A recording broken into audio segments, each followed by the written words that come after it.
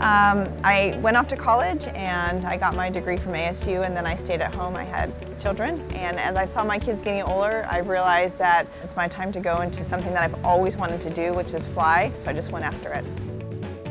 My typical day as a CFI includes um, setting the schedule for the week, either a flight, a sim, or a ground for each one of my students on a daily basis. At ATP, we like to emulate what the student is going to see at the airlines. So we like to keep a standardized checklist, um, structured curriculum, and standard crew procedures. Even though ATP has a standardized instruction program and the way that we do things, I personally tailor the way that I teach each and every student based on how they learn and how I teach.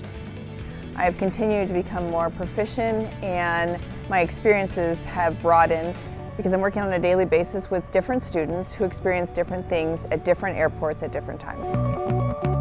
Being a CFI is a critical part for me to becoming an airline pilot.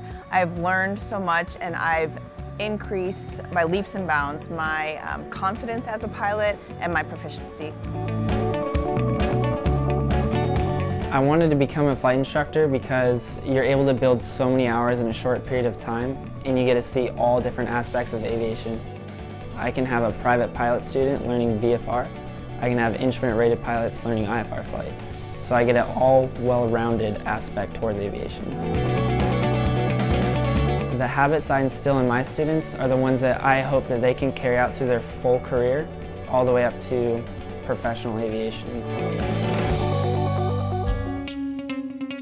Uh, there's a lot of responsibilities that CFIs have, not only to me, but also to the students that I teach. Um, in the plane, not only are we responsible for you know, collision avoidance and being situationally aware of where we are, but we also need to provide adequate instruction to our students during that time as well.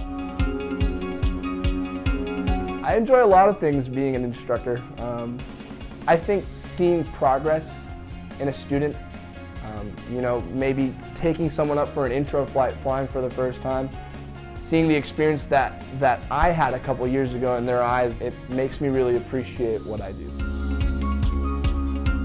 I became a flight instructor because I wanted to teach the next generation of pilots. I have a lot of respect for the instructors that I've had throughout the program and the help that they've given me and I wanted to pass that along. Uh, so to be a CFI, I think it takes someone who's patient, uh, you have to be willing to give up controls and let your students learn and knowing when to step in and when to let them make the mistakes. And then um, a good knowledge base and skill set as well.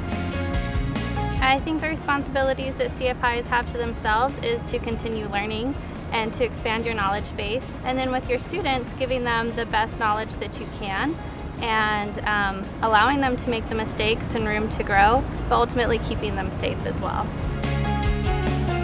So I think becoming a CFI is an important step in this journey to become an airline pilot. Um, I work with more than one student. They have different personalities. Um, they come from different walks of life. And so it's helping teach me better communication skills and teamwork skills inside and outside of the cockpit.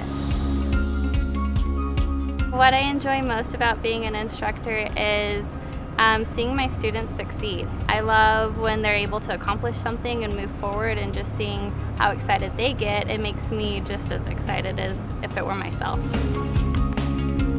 Uh, my career goals are to ultimately go to a major airline. So right now I am building my hours here at ATP as a flight instructor. I'll go on to regional for a couple years and then eventually to a major airline.